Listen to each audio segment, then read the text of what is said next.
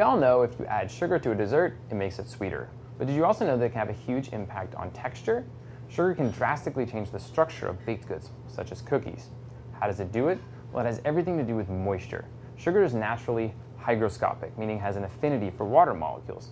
Now, because of this tendency, sugar can slow the evaporation of moisture from cookies and cakes as they bake, which can have a tremendous impact on the final texture. Now, all sugar is not the same. You have white sugar, brown sugar, honey, molasses, many more, and each has a slightly different structure.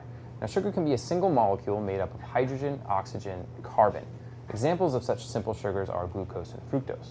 Or, like sucrose, which is white table sugar, it can be composed of multiple molecules, in this case, one glucose and one fructose, tied together with chemical bonds. Now, when you heat sucrose with an acid, it breaks down into these two smaller sugars, resulting in something we call invert sugar. Now, this small chemical change makes a big difference. While sucrose is hygroscopic, invert sugar is even more water attracting. Want proof? First off, brown sugar contains more invert sugar than does white sugar. So we stored a slice of white bread in a sealed container with a quarter cup of white sugar and one in a sealed container with a quarter cup of brown sugar for about a day and a half.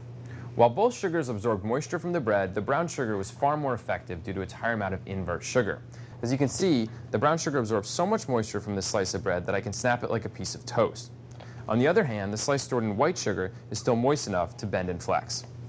Well, this is all well and good, but who really cares about dried out slices of white bread? Let's apply this information to something we do care about, cookies. So we made two batches of oatmeal cookies, one with brown sugar and one with white sugar. Now to isolate this variable, we kept all other ingredients and the baking procedure identical.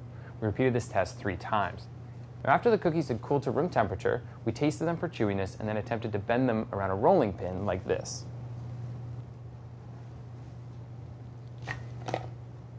The results are clear as day. The oatmeal cookies made with brown sugar have serious chew and the flexibility to easily conform to the curvature of the rolling pin. On the other hand, the cookies made with white sugar are crunchy rather than chewy and quickly snap when bent. So, next time you're looking for a good crunchy or chewy cookie, look to sugar. It does a whole lot more than add sweetness.